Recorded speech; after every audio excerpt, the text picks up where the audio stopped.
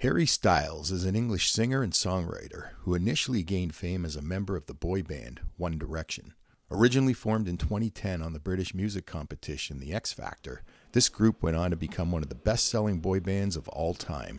After One Direction went on hiatus in 2016, Harry Styles decided to launch a solo career by releasing hit songs such as Sign of the Times, Adore You, and the song I chose for today. Known for his distinctive fashion sense, he often challenges traditional gender norms and embraces a style that blends elements of vintage and modern fashion. On this very day, February 1st, 1994, he was born in Redditch, Worcester, England.